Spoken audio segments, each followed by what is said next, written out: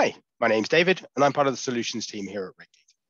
Today, I want to take a look at our code analysis functionality that's integrated into a number of our solutions here.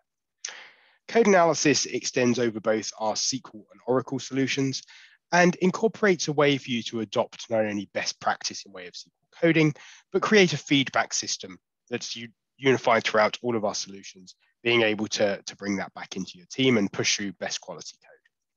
As we can see here, it's made up of a number of rules for naming conventions, best practices, deprecated syntax, so on and so forth. But let's take a, a look through where these are actually in place.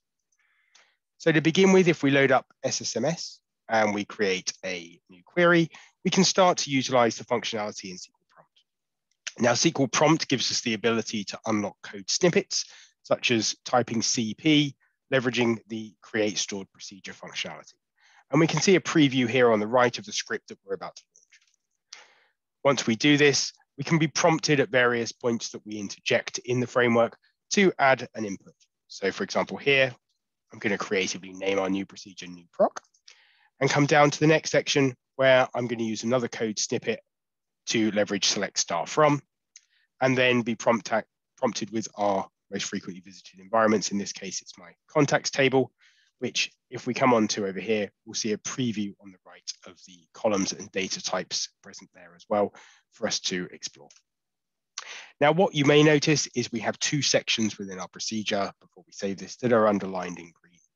We have our asterisk in our select statement, and we have our parameter being declared but never used up here as well. Both of these are flagged up as part of our code analysis work, tying into those 87 SQL best practice rules that we bring through allowing our developers an early opportunity to offer a, a potential improvement to their code as they come through.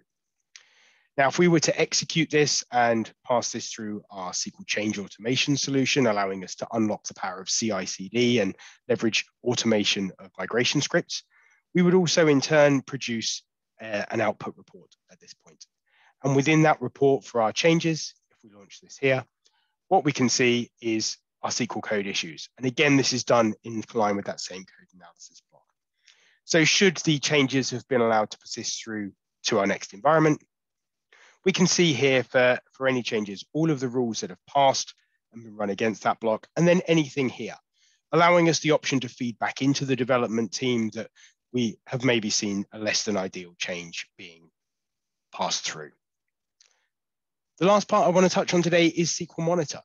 And should this change have been executed and passed through to our environment, with SQL Monitor, what we're going to be able to do is also run code analysis against our long running queries that we're examining, see if these can be optimized in any way.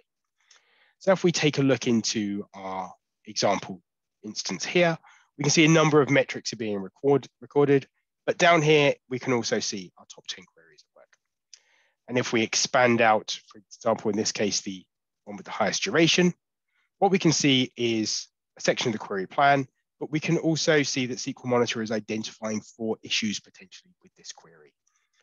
By clicking here, we can again see our friend the asterisk coming back up as well, as well as a couple of other issues that we've identified in conjunction with that code analysis block. We can expand these out. So should it be a more junior member of the team, someone who's not familiar with why this wouldn't be considered best practice, we can see a small example down here. And we can also link into additional online documentation from within the solution itself, launching us another section where we can read up further. I hope this has given you some insight into how code analysis not only continues throughout the Redgate solutions, but also allows you a consistent approach to code improvement throughout your entire deployment process. Thank you.